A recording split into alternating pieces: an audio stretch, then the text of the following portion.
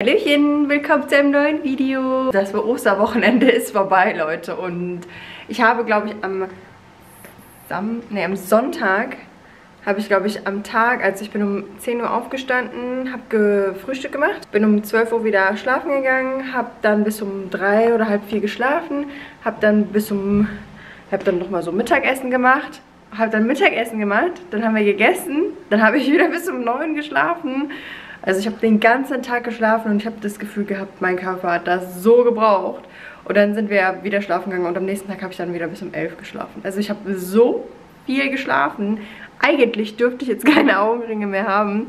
Aber ich wünschte sehr, die Feiertage hätten noch ein bisschen angehalten. Ehrlich gesagt, noch so zwei Tage, dann hätte ich für mich diese Perfektion erreicht. Ähm, ja, aber ist nicht.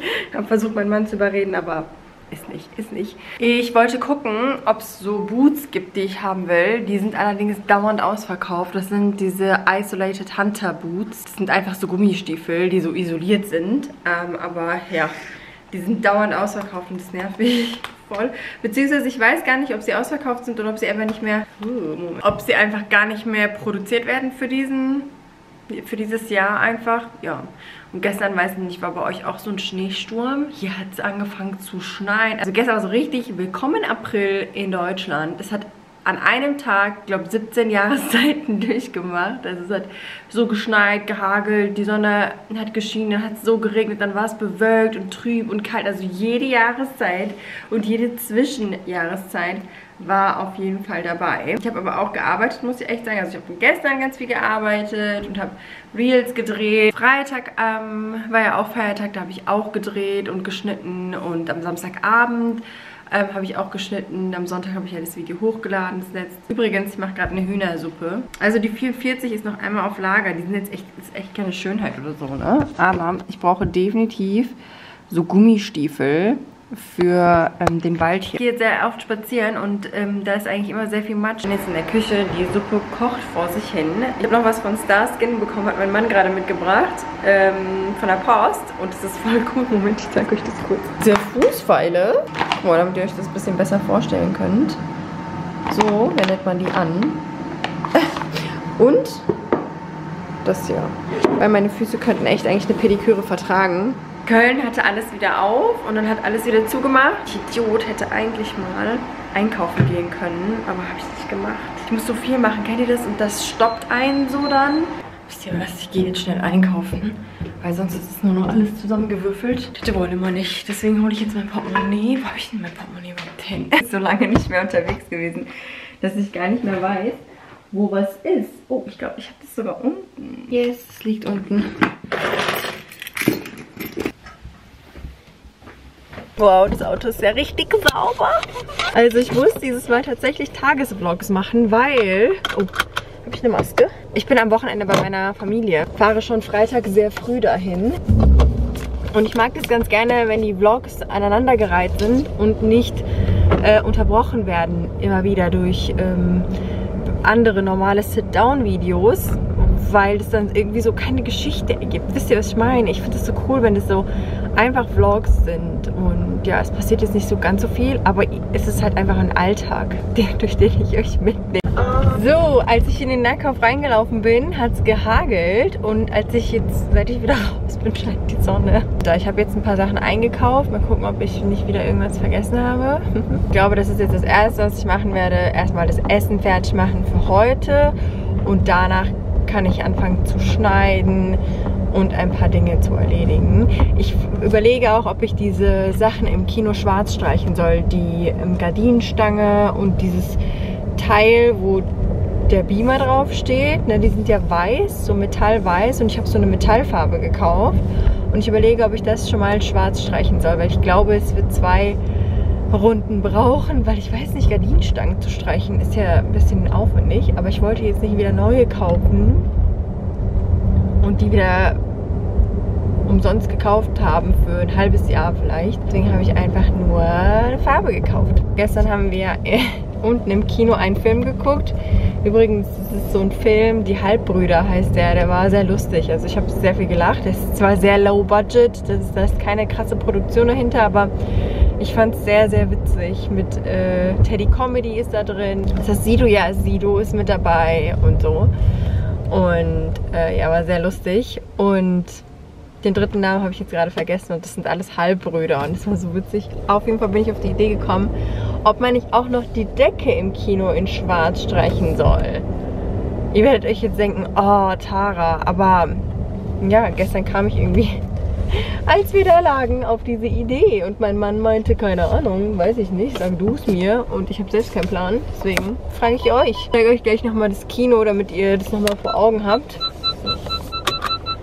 Dann können wir vielleicht gemeinsam entscheiden, ob wir das in schwarz streichen sollen oder nicht. Zwölf Flaschen oder was, das sind Cola Zero mitgebracht, weil ich nie eine ganze Flasche leer trinke und dann ist dann der Rest, der Rest wieder ohne Kohlensäure. Ich mag das zwar gerne, aber ja, trotzdem äh, habe ich das Gefühl, es ist dann irgendwie alt und deswegen wandert immer ein, zwei in den Kühlschrank, dann ist es okay. Und dann habe ich noch mitgenommen, das habe ich übrigens letztens von meiner Freundin geschenkt bekommen. Wie süß, oder? Zu Ostern von ihrem Sohn, mein Lieblingshase. Das hier ist meiner Meinung nach das leckerste Olivenöl und man kann es auch noch ähm, erhitzen. Ist es das, was man so erhitzen kann auch? Es gibt noch eins von Bertoli, das kann man auch zum Braten nehmen. Das war mal gelb. Ich weiß nicht, ob es dasselbe jetzt ist. Dann haben wir noch Balsamico, Möhren, Rucola, Schokolade und hier Petersilienwurzel, welche Popcorn wir gestern gegessen haben zum Kinofilm war übrigens die. Die mag ich gerne in der Mikrowelle. Ich hole jetzt das Hähnchen hier raus und dann schnibbel ich das klein. Dann schnibbel ich noch Gemüse klein und schmeiße alles wieder zurück in die Suppe und hoffe, dass sie so schmeckt wie bei meiner Mama.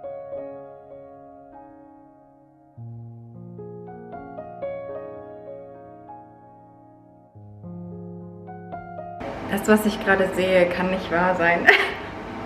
Leute, es ist unglaublich. Ernsthaft? Der Schnee bleibt liegen. Guckt euch mal bitte das Dach an. Hier ist alles voller Schnee. Das ist nicht normal. Ich habe mich gerade gefragt, warum es auf einmal so dunkel wird. Und ich gucke aus dem Fenster und der Schnee liegt da. Und ich so, auf unseren Autos liegt der Schnee. Einfach Mayas Auto ist voller Schnee. Ich glaube, mein Mann hat noch nichts von dem Schnee mitbekommen. Ich gehe dem das jetzt sagen und Maya. Essen braucht noch circa 15 Minuten. Und ich, ich komme nicht drauf klar. Guck mal bitte, mein Dachfenster ist komplett voll. Aber da ist wieder, oh, man sieht auch diese Hagelkörner noch. Und da ist auch schon wieder blauer Himmel. Und ich bin jetzt nur eine Etage runtergelaufen. Und die Sonne scheint wieder. Der Garten sah lange nicht mehr so aus. Der Wahnsinn. Uh, meine neuen Teppiche sind da. Ein Karton fehlt, hat der, Postbote gesagt. Aber ist nicht schlimm, hier ist ja genug. Der Teppich ist auch so riesig. Mal gucken, welcher davon fehlt. Aber als erstes werde ich jetzt erstmal was in Ruhe schneiden hier und mich ein bisschen setzen. Draußen ist auch alles schon wieder weggeschmolzen.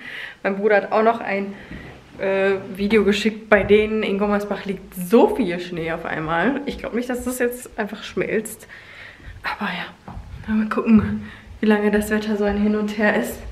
Maya legt generell immer mein Handy auf den Stuhl, wenn sie den Tisch abputzt. Yes. Ich sitze hier oben und drehe meine Videos. Das ist ein Wettervlog. Leute, was ist das? Ein Foto machen? Oder muss ich nach draußen gehen?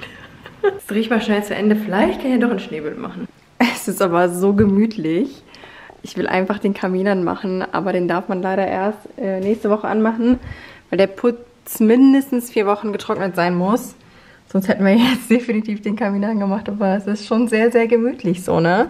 Ich werde mir jetzt die Meier schnappen und wir werden rausgehen, ein Foto machen. Ich habe jetzt zwei Reels gedreht und zwei Reels geschnitten und ein IGTV auch geschnitten. Und das ist schon nicht mehr Schnee, das ist ein Schneesturm. Der Knaller, ich sag's dir. Ich ziehe mich jetzt ganz weiß an. Oder? Ja, ganz weiß wäre eigentlich ganz cool. ich habe jetzt meinen Outcouture-Pullover angezogen. Ganz ehrlich, nichts ist gemütlicher als er gerade. Und wir haben bis heute, das gilt leider nicht mehr für Mittwoch, aber wir haben bis, heute, bis heute, wenn ihr auf Instagram folgt, 10% mit dem Code Easter10 ich weiß nicht, vielleicht kriege ich ihn noch bis Mittwoch rein oder durch. Ähm, wenn ja, dann sage ich euch auf jeden Fall Bescheid und schreibe es in die Infobox. Aber ansonsten ist, ist er alle Male jeden Cent wert. Nee, Maya ja. Scheiße, ich wollte dich erschrecken. so, weil ich dich ja nicht sehe durch das Display. Gesundheit. Merci. Jetzt umgezogen und ich habe mal die Kommentare in meinem letzten Video mir angeschaut und es haben sich so viele gewünscht, dass ich nochmal meine Parfums zeige, ein Update mache und nochmal zeige, welche ich gerne mag. Und deswegen werde ich die jetzt Tisch für Tisch hier hinholen. Es sind nämlich drei Beistelltische. So, ganz kurzer Disclaimer. Ich bin Bloggerin. Ich bekomme sehr viele Düfte geschenkt. Also ich wirklich bekomme generell einfach sehr, sehr viel Produkte geschenkt. Das ist nicht die Norm. Also es ist nichts, was man braucht oder wonach ihr streben solltet oder sowas. Klar, Düfte sind sehr schön. Ich verwende sie mit sehr vielen Orten oder Geschehnissen, Ereignissen. Ich habe sogar noch Düfte hier stehen. Da ist noch ein Mini-Tropfen drin, einfach weil ich mich daran erinnere, was an diesem Tag oder in dieser Zeit passiert ist, in der ich diesen Duft gerne getragen habe. Aber bitte jetzt nicht denken, wow, ich habe jetzt drei Düfte, das ist viel zu wenig oder so, weil meine Schwester zum Beispiel, die hat vielleicht zwei Düfte und die kauft sich erst neun, wenn sie die aufgebraucht hat. Und das ist auch völlig normal, auch wenn man zum Beispiel erstmal einen Duft hat und dann den leer macht, bis man den nächsten holt und so weiter. Keine Norm. Bitte kein Beispiel dran nehmen. Ich fange an mit einem Duft, den ich mir viele Jahre immer wieder nachgekauft habe, selbst. Ich habe ihn nie zugeschickt bekommen. Ich ähm, mag, mag ihn sehr, sehr gerne. Er, er hat so eine Vanillenote, ist für mich ein eher winterlicher Duft. Eher etwas, was ich zum Beispiel heute tragen würde bei Schnee und Kälte. Das ist Hypnotic Poison von Dior und der erinnert mich sehr an meine Studentenzeit. Ich bin gerade ausgezogen und ich war gerade so frei, wollte ich schon sagen, also so unabhängig, ne, hatte meine eigene Wohnung. Ja, war, war zwar war so zwischen Erwachsen und Kind. Manchmal denke ich, ich bin immer noch ein Kind. Aber ich mag diesen Duft bis heute sehr gerne. Er erinnert mich an sehr, sehr schöne Tage. Ich hatte wirklich wunder, wundervolle Jahre in meiner Studienzeit, die ich nicht missen möchte. Und ja, ich mochte den Duft super gerne. Ich würde mich so gerne damit jetzt einsprühen. Aber ich mache es jetzt nicht, weil ich glaube, ich werde an sehr vielen Düften riechen und ich kriege gleich auch Kopfschmerzen. Aber ja, das ist für mich ein Duft voller Menschen und Ereignisse und Orte und habe ich sehr häufig nachgekauft. Aber ich habe ihn wirklich immer nur im Herbst angefangen zu tragen bis zum Winter und das über viele Jahre. Und ich glaube, ich, das wird sich auch über viele Jahre weiterhin durchziehen. Ich mag ihn super gerne. Hypnotic Poison von Dior. Wer ist im Team? Dann habe ich hier einmal von Burberry The Beat. Den habe ich bei meiner Freundin gerochen. Dann hat ihn die Tante von meinem Mann mir ihn direkt geschenkt, weil ich gesagt habe, oh mein Gott, du riechst so gut. Das ist ein sehr sauberer Duft. Das ist so ein Duft, wenn ich frisch geduscht habe und mich sehr, passt tatsächlich eigentlich zu jedem Anlass, aber ist sehr, sehr pudrig. Riecht sehr gut. Ich mag den sehr gerne, The Beat von Burberry. Ich muss sagen, ich habe ihn ab und zu vergessen, aber am Anfang, als ich ihn bekommen habe, habe ich ihn wirklich dauernd getragen, weil es so ein schöner Duft ist. Ich muss sagen, er verfliegt schnell oder ich gewöhne mich schnell an den Duft, ich weiß es nicht genau. Wie Babygeruch für Erwachsene, also so ganz sauber, so rein irgendwie. Hier einmal Yves Saint Laurent, den habe ich leider einmal mitgenommen und da ist mir im Koffer das Yves Saint Laurent Zeichen abgefallen. Aber Yves Saint Laurent Libre, auch ein Duft, den ich trage, wenn ich will, dass man Ja sagt zu allem, was ich sage. Also wenn ich etwas erreichen möchte, wenn ich irgendwie zum Beispiel ein Meeting habe und ich will, dass es so bossy ist, dann trage ich ihn, weil er ist für mich sehr elegant und sehr absolut feminin, ne? Das ist jetzt nicht irgendwie männlich oder sowas, vielleicht maskulin oder hat irgendwie eine schwere Note oder so. Er ist sehr, sehr feminin. Er ist auch floral, aber es ist ein schwerer Duft. Er ist so, ich bin da. Hier einmal kennst du, ich muss sagen, irgendwie, wenn ich ihn an anderen rieche, mag ich ihn sehr gerne. Das ist Kenzo World.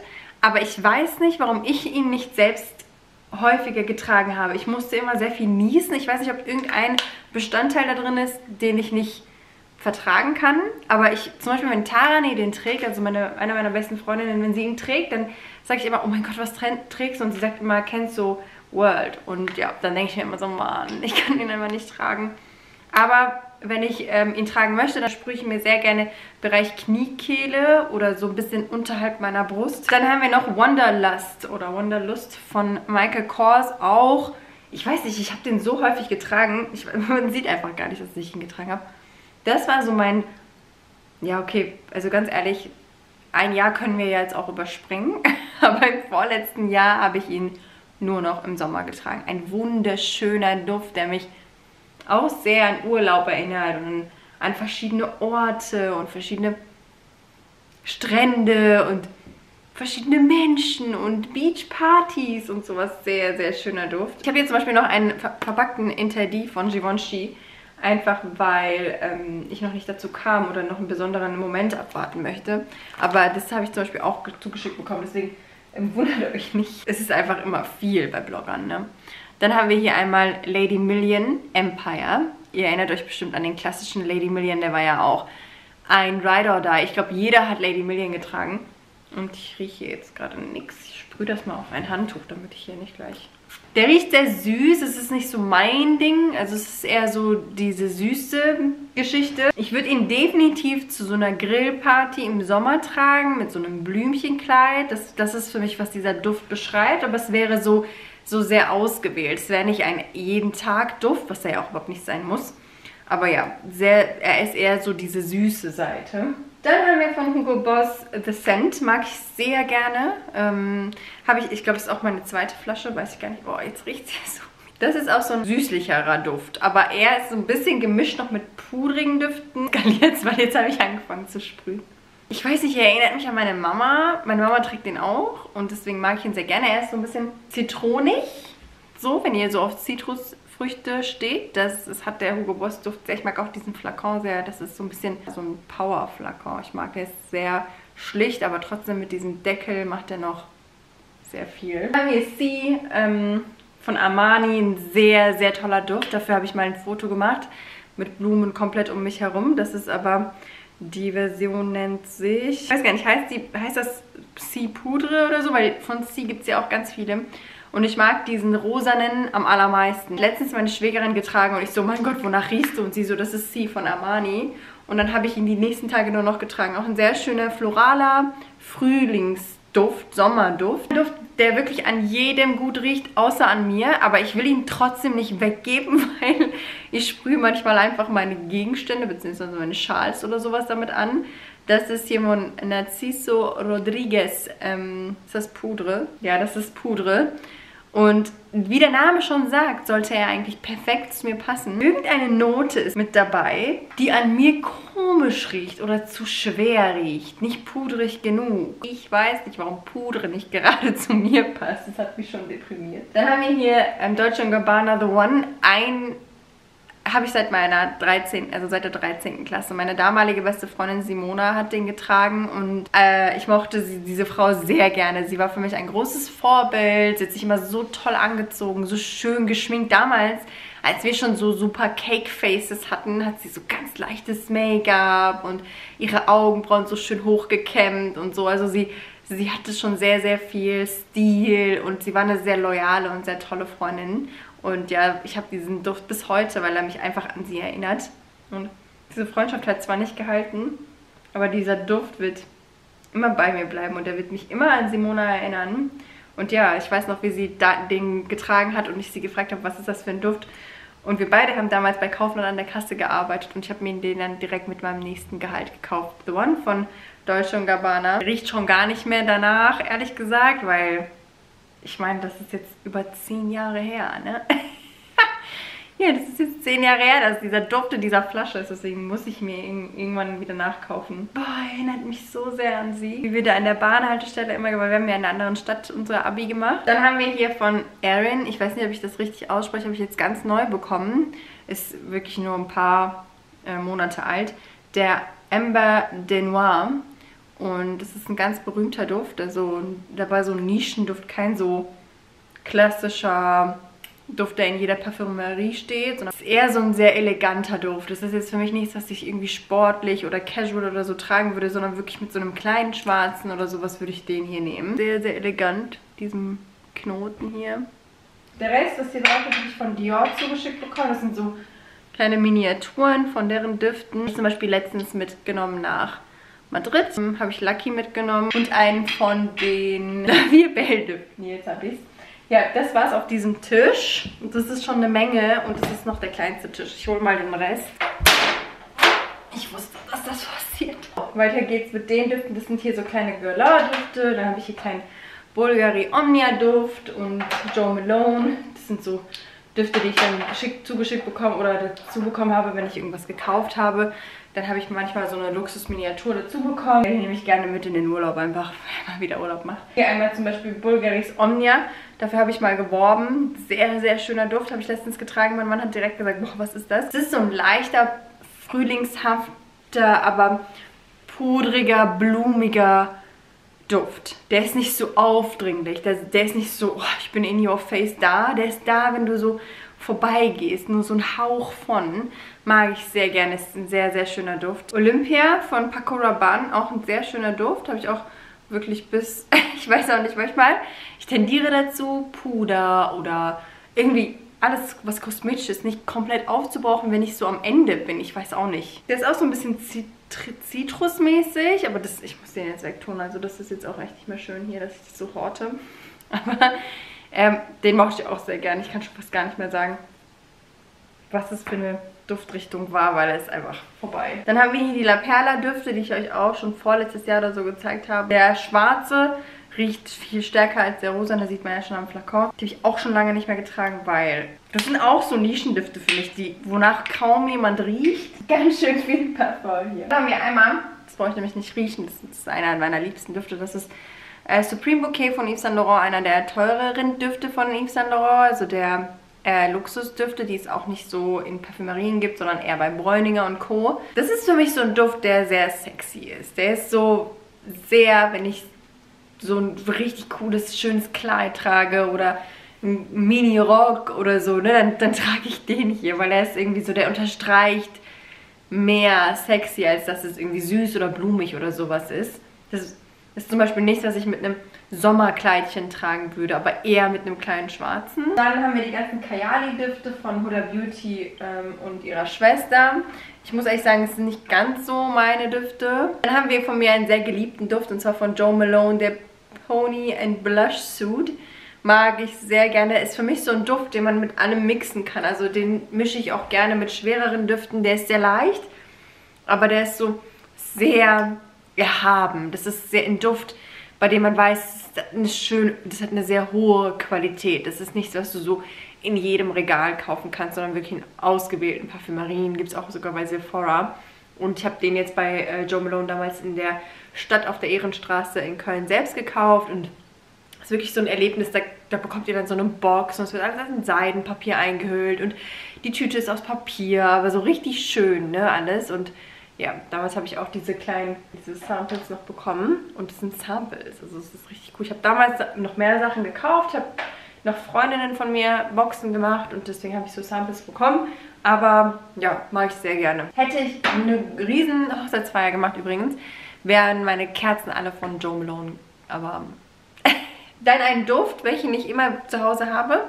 Ähm, kein High-End-Duft oder so, sondern einfach ein, mit dem ich mich einfach besser fühle. Das ist von Intimissimi die Nummer 1. Das ist für mich der pudrigste, sauberste Duft überhaupt. Also wenn ich aus der Dusche komme, irgendwie an einem Samstagmittag oder so, sprühe ich mich damit ein oder an einem Sonntag. Wenn ich die ganze Zeit in diesen Chiller-Klamotten bleibe, sprühe ich mich damit ein. Das ist auch ein Duft, bei dem, mit dem ich, den ich so mit schweren, eher maskulineren Düften mixe, damit er so ein bisschen weiblicher oder leichter oder so ein bisschen weicher wird. Also das ist für mich auch so ein Mixduft. Kann ich auch sehr empfehlen. Habe ich auch schon viele Jahre immer in meiner Sammlung.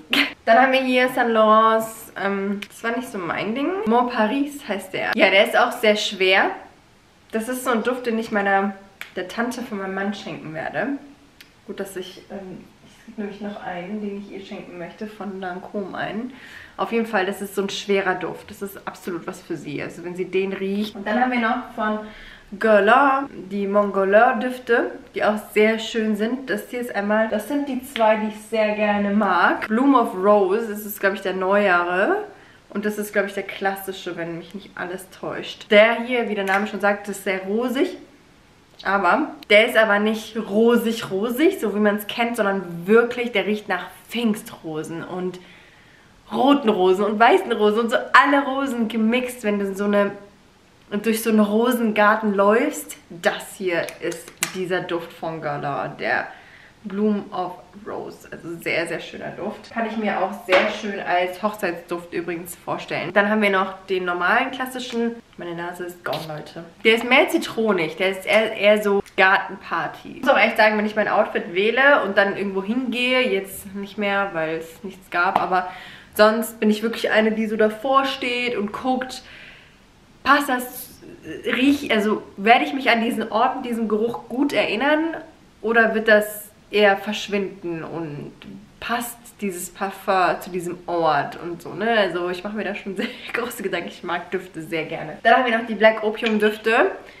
Den klassischen, den mag ich sehr gerne. Und einmal den mit Gin Tonic und so weiter. Das ist der Intense. Dafür habe ich damals auch geworben. Auch ein Duft, mit dem ich gerne ausgegangen bin. Immer wenn ich mit meinem Mann ausgegangen bin, wenn wir irgendwie feiern, was trinken, Restaurants gegangen sind, dann habe ich Intens getragen und er mochte den auch sehr gerne. Es ist ein sehr starker, also nicht starker, starker Duft, sondern du bist sehr stark mit diesem Duft und du willst was sagen und du willst Spaß haben und das Leben genießen und so. Und deswegen, den mochte ich auch, den mag ich sehr gerne. Und ich wünsche, ich darf ihn bald wieder benutzen. Es ist immer noch keine Norm, okay? Immer noch kein Beispiel an mir nehmen. Wir haben hier immer wieder kleine Pröbchen von ähm, Lancôme. Das sind diese La Vie Belle Düfte. All das La Vie Belle Düfte, die ihr hier auf der Seite seht. Wir haben hier einmal den klassischen La Vie Belle, aber mit so einem ähm, extra ja, Aufdruck, also so eine Limited Edition war das. Das ist auch eine Limited Edition von dem klassischen La Vie Belle, aber mit diesem Flakon, der auch sehr, sehr schön ist. Und dann haben wir einmal, ich glaube, Anne Rose ist das. Ich habe die vertauscht. Das ist Intense, also der La Vie Belle Duft nur noch intensiver. Und das hier ist Anne Rose. Den habe ich auch kurz vorm Lockdown rauf und runter getragen und dafür habe ich auch viel geworben, weil das ein sehr, sehr toller Duft ist. Auch so ein wirklich sehr floraler, aber sehr, sehr rosiger. Also nach wirklich echten Rosen. Nicht so nach irgendwie nach so einem Billo-Rosenparfum, sondern es riecht wirklich nach einem schönen Rosengarten. Dann haben wir hier Eclat. Eclat habe ich, also Eclat habe ich wirklich jedem empfohlen. Das ist auch so ein Flakon, welches definitiv weg muss. Das ist doch Eclat, oder? Ich glaube, das hier ist auch Eclat. Deswegen brauche ich jetzt nicht beide, aber ich habe den so vielen empfohlen, weil das so ein toller Duft ist. Man sieht, der ist auf jeden Fall schon umgeswitcht, also umge... Kann man auf jeden Fall hier nicht mehr benutzen. Das ist so ein Duft, ich glaube, der ist unter den Top 10. Garantieren kann, dass man dafür Komplimente bekommt. Der ist feminin, aber rosig, aber stark. Also sehr schön, aber sehr feminin auch. Dann, ich glaube, das ist auch nochmal Eklat. Dann haben wir hier den ganz neuen, das ist Soleil Cristal oder Cristal Soleil, nee, Soleil Cristal. Ja, ein sehr schöner holographischer Flakon, sehr, sehr hübsch gemacht, sehr elegant natürlich und ja, dafür Belldüfte sind einfach Klassiker. Hier einmal eine Seife von Dior liegen. Doch, das ist eine Parfum-Seife. Aber ja, das würde ich wahrscheinlich jemandem schenken, der so Seifen benutzt zu Hause. Dann haben wir hier Idol. Ich glaube, das ist meine dritte oder so Flasche sehr geliebtes Parfum von mir. Neigt sich auch dem Ende zu. Und ich hoffe sehr, dass ich bis dahin ein Backup habe. Sehr, sehr schönes Flakon. Passt in jeder Handtasche. Ist, glaube ich, das dünnste Flakon, was es gibt. Es liegt sehr schön in der Hand. Und ist einfach sehr innovativ. Also allein das Flakon ist sehr schön, aber der Duft ist eine... Ich glaube, er würde unter den Top 5 meiner liebsten Düfte landen. Mag ich sehr. Er ist auch sehr halt so, wie ich es die ganze Zeit beschreibe, sehr, er ist so leicht, aber er ist da. Also er ist präsent, aber er drängt sich nicht auf. Ne? Dann haben wir Miracle, das ist ähm, in Französisch ausgesprochen oder Miracle auf Englisch von Lancôme. Äh, ein sehr underrated Duft, äh, sag ich immer. Also der ist vom Preis-Leistungs-Verhältnis auch so unschlagbar. Das ist für mich auch einer der pudrigen Düfte, der so ein bisschen noch was rosig Blumiges mit da drin hat, aber das ist so ein Duft, den ich auch mixe mit anderen. Das ist auch so keiner, der sich aufträgt, auch einer, den ich nach dem Duschen einfach auftrage. Das ist so ein, der unterstreicht so ein bisschen diesen, diese, diesen femininen Charakter, mag ich auch. Dann haben wir Libre wieder in Intense, oder in, in Intense heißt das. So wie die übrigens Libre aussieht. Also meine Nase hat eine Pause gebraucht und mein Speicher war voll. Hier haben wir noch eine Schneekugel von Interdi. Givenchy's Interdi, voll schön. Dann haben wir hier Delina, das ist ein Mali-Duft, meine ich, ne? Ja, ein Parfum de Mali. Und das ist wirklich ein Duft, der ist so schön. Der ist auch, ist auch ein Nischenduft, ist auch kein Duft, den man jetzt irgendwie an jedem riecht oder so. Definitiv auch einer, für den man viele Komplimente bekommt. Der ist sehr, auch sehr blumig, also sehr so feminin blumig, ne? sieht man ja auch schon in dem Flakon. Davon habe ich auch hier einmal die Body Lotion. Und wenn ich jetzt, keine Ahnung, irgendwie auf ein Event gegangen wäre oder so, hätte ich dann das dazu benutzt. Dann hätte das sehr, sehr, sehr schön gehalten. Haben wir hier einen All My Sense Duft. Den habe ich euch auch ganz oft gezeigt. Rose Affair, auch sehr rosig und feminin. Und entweder mag ich es sehr blumig oder ich mag es sehr pudrig. Dann haben wir hier von Dior mein Hochzeitsduft. Da haben wir hier einmal äh, Rouge Trafalgar. Dieser Duft ist, glaube ich, dauernd ausverkauft. Ein sehr, sehr schöner Duft. Ja, also ich kann, natürlich ist es mein Hochzeitsduft, ne? Ich kann nichts sagen, außer dass es der schönste Duft überhaupt ist. Äh, ich habe ihn zu meinem Hochzeitsduft gewählt, weil mein Mann anders gesagt hat, oh mein Gott, wow. Also er war so, er hat so viermal so, oh, boah, das so, mm, das riecht so gut. Und ja, deswegen wurde er mein Hochzeitsduft. Der ist halt sehr besonders, sehr, sehr hochwertig. Und ich würde mir sehr gerne aus dieser Reihe Lucky holen, aus den Christian Dior Düften. So einer der sehr romantisch ist halt für mich. Ne? Das ist natürlich meine Erinnerung mit diesem Duft. Dann haben wir einen ganz neuen, den habe ich noch nicht so oft getragen. Das ist Miss Dior's Rose and Roses. Dann ein Duft, den meine Lehrerin damals getragen hat. Die, meine BWL-Lehrerin. Ich habe ja mein BWL- bzw. Wirtschaftsabitur gemacht und Sie hat immer Jean-Paul Gaultiers Klassik getragen und sie hat immer Manolo Blahniks getragen und sie war für mich die schlauste Person. Also sie war so intelligent und sie ist so intelligent und sie war für mich auch ein großes Vorbild und ich habe mich nie an ihr satt sehen können. Also sie war eine großartige, sehr geduldige Frau, die auch nach der Arbeit, also nach dem Unterrichten, hat sie uns noch die Möglichkeit gegeben, äh, Fragen zu stellen, gerade in so Klausurphasen und so. Und sie hat uns immer irgendwie geholfen und uns immer zugehört. Sie war eine wirklich großartige Person und mit der verbinde ich der Jean-Paul Gaultiers Klassik-Duft. Dann haben wir noch Tresordüfte. Die hier, das sind Lancome's Tresordüfte. Ich habe hier noch einen ganz neuen von Kenzo, den habe ich gestern getragen oder vorgestern. Ein sehr, sehr schöner Duft. Das ist der Flower bei Kenzo Duft. Der wurde nochmal aufgepimpt. Den gibt es ja schon etliche Jahre. Und ich bin wirklich in den verliebt. Den habe ich euch aber auch schon mal in einem Vlog gezeigt. Da habe ich ganz viel drüber geredet. Und ein sehr, sehr schöner Duft. Ich hoffe, dass wir bald unsere Düfte alle mehr tragen können, sie ausführen können. Diese zwei Düfte landen jetzt auf jeden Fall in dem Müll. Danke, dass ihr mich dazu gebracht habt, die auszusortieren. Und jetzt stelle ich den Schrank wieder zurück und putze meine Nase. Die ist jetzt, die ist jetzt ciao. Wir packen gerade die Pakete aus von Benuta. Und das ist der erste Teppich. Der ist für die Küche, weil ich will gerne so schwarze Vasen und Bilder in die Küche hängen. Und weil wir haben ja auch schwarze Griffe ne, da hinten. Und deswegen habe ich mich für diesen schwarzen Teppich entschieden. Und mein Mann sagt gerade, schön. Ich finde ihn auch sehr schön. Der muss natürlich noch gesaugt werden und da muss sich einmal noch richtig hinlegen. Und wir räumen jetzt einmal noch die restlichen aus. Soll ich ein Kissen haben? Mhm. Wow, ich bin sehr gespannt, wie das hier drunter sein wird. Der ist ja viel kleiner, ne? von der Länge und auch von, also von der Tiefe hier. Der ist ja nicht ganz unter dem Sofa. Und ich hoffe, dass das dann passt. Dann ist das der Läufer für die Küche und der andere, der kleine gelbe, der war eigentlich für da hinten gedacht, aber das ist die falsche Größe. Da müssen wir nochmal äh, umdisponieren. Und das hier war für meine Mama. Das zeige ich euch auch noch. Aber jetzt gibt es erstmal Abendessen. Das ist das Essen, was wir heute Mittag schon gegessen haben. Wir haben hier einmal Hühnersuppe, Salat, Hähnchen und Reis. Good morning, people. Wie geht's? Ähm, ich habe heute ein bisschen stressigen Tag. Schneit übrigens immer noch, just saying. Ähm, und zwar habe ich ein Kleid bestellt von Ted Baker. Leider gab es das nur in 38, aber ich wollte unbedingt ein hellblaues Kleid für, das, äh, für den Standesamttermin meiner Schwester, weil... Warum sehe ich so dunkel in der Kamera aus? Weil sie als Kind immer ein hellblaues Kleid getragen hat. Sorry, ich habe so einen Halsbonbon im Mund. Ähm, und ja, dann habe ich eins bestellt, aber es ist leider zu groß. So sieht das aus. Sehr, sehr schönes Kleid. Wirklich mit so ähm, Spaghetti-Trägern. Ich blende euch mal ein Bild ein.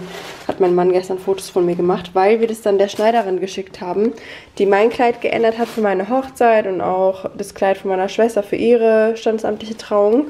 Und ja, sie gerade gefragt, ob sie spontan Zeit hat, das zu ändern. Da muss ich noch schneiden. Heute Mittag habe ich noch einen anderen Termin und ich muss noch was anderes in Köln abholen.